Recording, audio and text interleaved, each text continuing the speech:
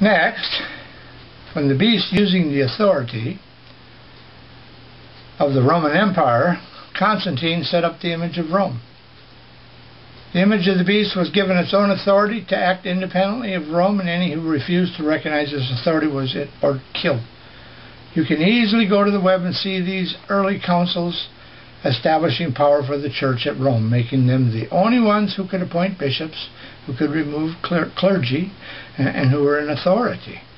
The Council of Nicaea, legally under authority of Rome and her emperor, established the Roman Church as the only church and no other. Now Christ established his church, the body of Christ, the bride of Christ, and Rome established their church.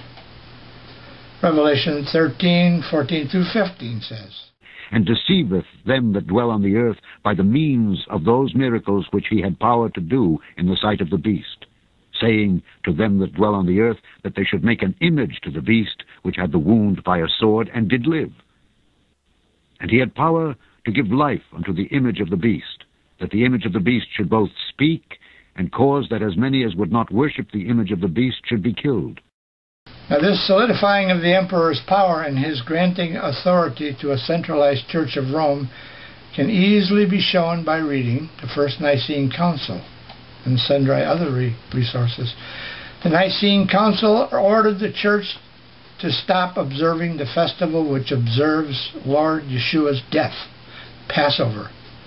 Did you get that? The Nicene Council ordered the church to stop doing the Passover which Lord Yeshua ordered his church to keep. The Lord told us to remember his death at Passover by eating the unleavened Passover bread as his body, and the third cup of Passover wine as his blood of the new covenant.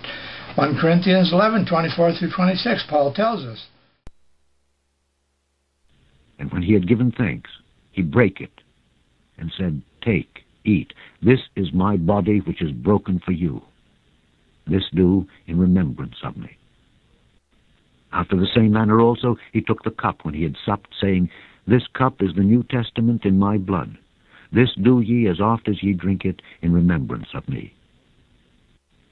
For as often as ye eat this bread and drink this cup, ye do show the Lord's death till he come.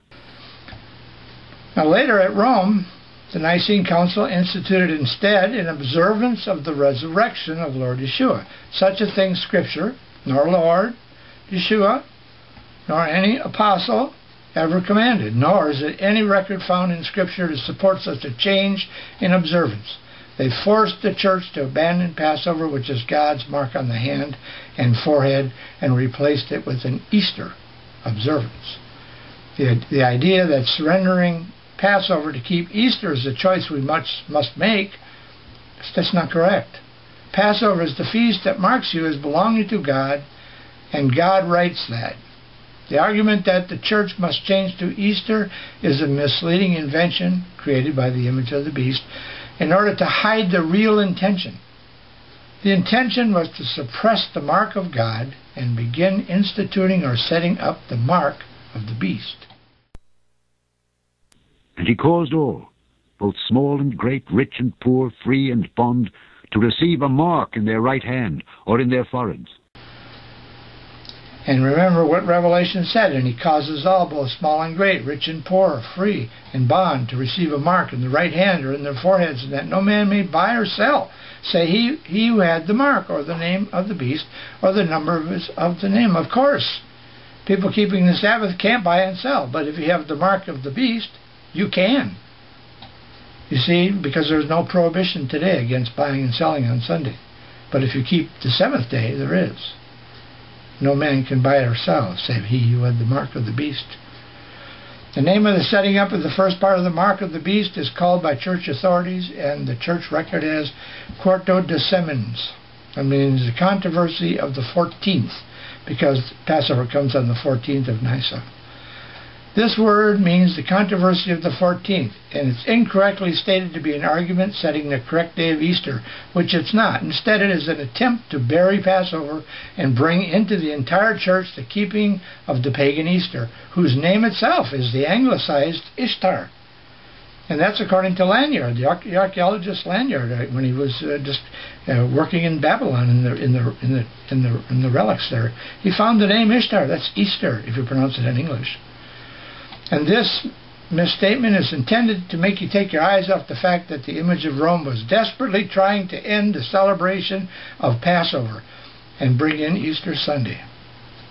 This was finally accomplished by bringing the church under the power of the image of the beast and giving the image its own power and voice. The beast now lived. Revelation 13:15. And he had power to give life unto the image of the beast, that the image of the beast should both speak and cause that as many as would not worship the image of the beast should be killed. Having first set up the conditions for the church to worship the empire, emperor by worshiping the image of the Roman emperor, that would be the office we now call Pope, they enacted the power of the image by first setting up the image of the beast and then giving that image more and more power till it finally had absolute power over the church. Power to imprison, power to kill, power over personal property, over kings, over armies. Which brings us to the second part of the mark of the beast on the hand or the forehead.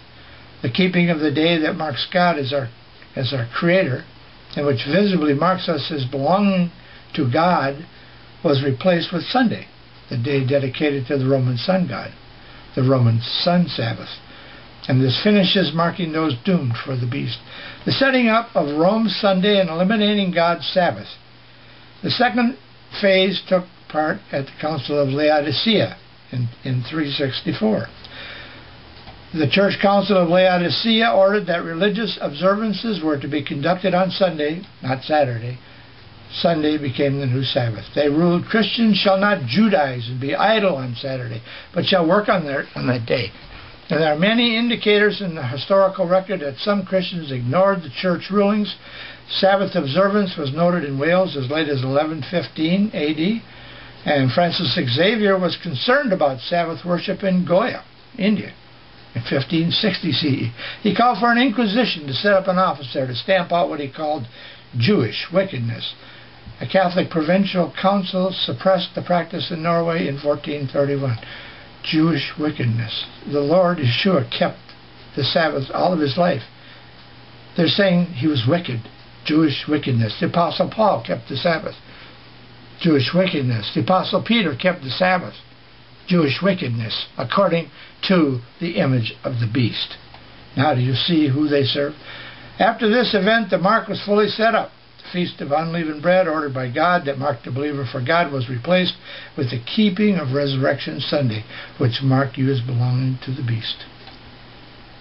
The mark of the beast was fully set up, and almost all of the opposition was killed or imprisoned. And being unable to send their testimony down to us today, and the Bible, God's Word of the New Testament, was hidden away in a dead language that few could read in Latin for 1,000 year dark age. Those who did discover the truth were hunted and killed like cattle. They were imprisoned and burned at the stake, and this continued until the Reformation when Martin Chemnitz took the Catholic priest Martin Luther's writings and began the Protestant church in Europe. The Pontifex Maximus of Rome said about those Protestant protesters, they protest, but they do. What was it they continued to do? They continued to wear, the Protestants continued to wear the mark of the beast instituted at Rome by the image of the beast so long ago. Don't follow them, my friends. Listen to the inspired words spoken so long ago by a true prophet of God. Joshua 24, verses 14 through 15. Now therefore, fear the Lord, and serve him in sincerity and in truth. And put away the gods which your fathers served on the other side of the flood and in Egypt, and serve ye the Lord. And if it seem evil unto you to serve the Lord, choose you this day whom ye will serve, whether the gods which your fathers served that were on the other side of the flood, or the gods of the Amorites in whose land ye dwell. But as for me and my house, we will serve the Lord. Now go and serve the Lord. Give back the mark of the beast to the image of the beast, and wear the mark of God proudly on your hand or upon your forehead. My prayers go with you. May God go with you, friends. Amen.